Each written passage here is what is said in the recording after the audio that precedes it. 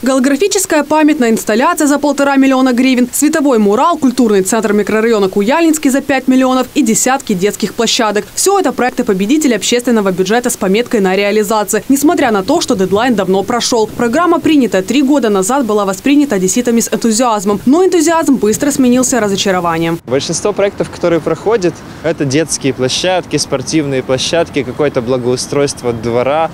И на самом деле общественный бюджет стал инструментом у депутатов, э, чтобы делать свои какие-то предвыборные обещания на своем округе за счет общественного бюджета. Интересные проекты, люди все меньше и меньше их подают, потому что они не видят обратной связи.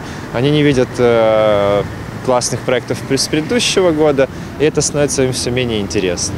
А депутатам это не становится все менее интересно, потому что дефицит детских площадок все равно не иссякаем. Вспоминая бессмысленно реализованные проекты общественного бюджета, первым на ум приходит почти что бриллиантовые качели на Греческой площади. Ну вот и я решила покататься. Кто не знает местную достопримечательность почти за 5 миллионов гривен. Ведь это самый обсуждаемый проект общественного бюджета за все время его существования. Но я сейчас не вижу разницы кататься на обычной качели или на светящейся карусели. Тем более, что так называемый арт-объект выглядит выглядит довольно непригодно. Его ломают, чинят, опять ломают и так по кругу. Но зато 5 миллионов. Но не только качели повергли в шок одесситов. Недавно мы показывали вам реализацию проекта благоустройства Живаховой горы, который должен был напоминать второй Голливуд. Идея победила в прошлом году. На нее заложили полтора миллиона гривен. Я художник, и я так вижу. Видимо, так подумали создатели плана благоустройства Живаховой горы. И это не шутка. У меня в руках не рисунок школьника, это официальный проект победителя прошлогоднего общественного бюджета.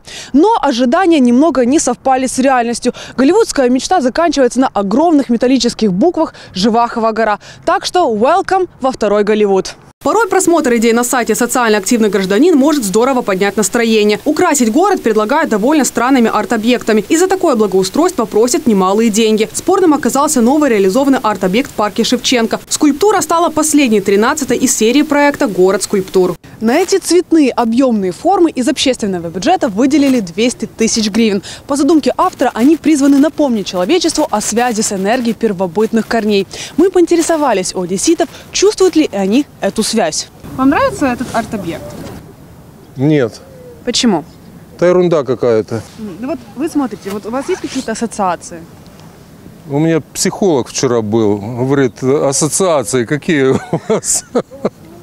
Почитайте, говорит, сколько литр этого. А ассоциация? Да. Ну, с чем ассоциировать это? Ну, с... э, Ну, не могу.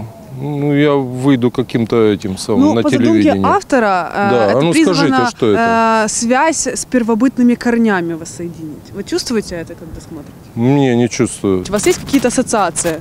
Вот первое впечатление. Вам понравилось, не понравилось? И, э, Пахлава. Да, он похож на пахлаву. Не, ну красиво, необычно, интересно. Впрочем, из того же проекта «Город скульптур» многие по достоинству оценили одесских котов. У каждой скульптурки своя легенда, и ежегодно коллекция пополняется. Полезные проекты также реализовываются в рамках бюджета. Это освещение пешеходных переходов, зарядка для гаджетов в общественном транспорте и проект «Одесса на ощупь закрытыми глазами». Люди с нарушениями зрения могут осязать известные достопримечательности своими руками. город на ощупь.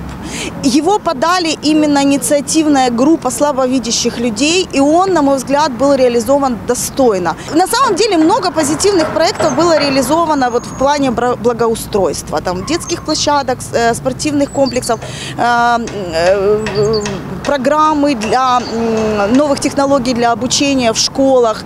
Частично тоже были финансированы, финансированы интерактивные доски. То есть это то, что, понятно, животрепещущее и то, что принесет пользу ну, всему городу и всем нашим детям. К сожалению, наш город, как и многие проекты, которые очень полезны и должны работать на горожан и на город, нивелировались за счет, ну, можно назвать так мягко, халатностью. А если говорить уже ну, доступным для всех нас языком, то это просто, опять же, ручной механизм а, использования бюджетных средств Но пока реализуются, мягко говоря, неоднозначные проекты, город тонет в грязи, а летом задыхается в пыли. Может отложить установку скульптур на следующий год, а в этом избавиться от открытого грунта, который разносит по тротуарам и дорогам. Ну хотя бы так или так. Светлана Давжук, Юлия Пальнова, телеканал «Репортер».